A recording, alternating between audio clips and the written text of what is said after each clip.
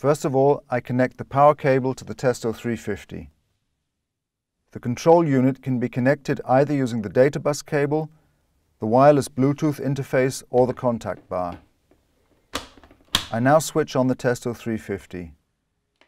In order to make the data bus connection, I connect the analyzer box to the control unit.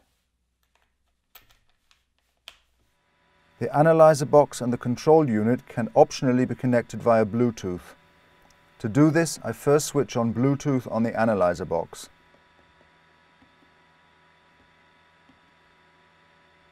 I then switch on Bluetooth on the control unit. I can then remove the control unit from the analyzer box and the wireless connection is automatically activated.